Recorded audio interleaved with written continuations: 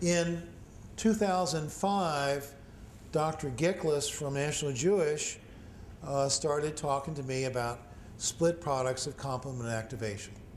C3A was a big player in our early work.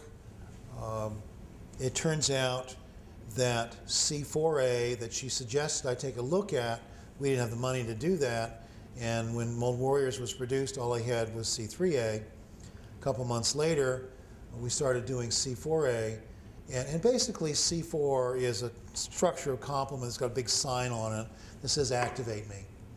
So, activation of C4 by something is accomplished by turning on an enzyme with an acronym M as in Mary, A, S as in Sam, P as in Paul, 2, or mannose binding lectin associated serine protease.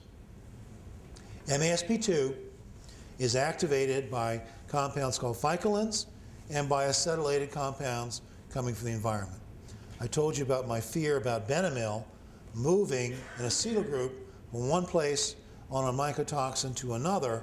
What actually happened in these mutant mycotoxins, in my opinion, these mutant fungi, is that with the new gene with beta tubulin, now indoors, they became able to manufacture a toxin that this time MASP2 could identify.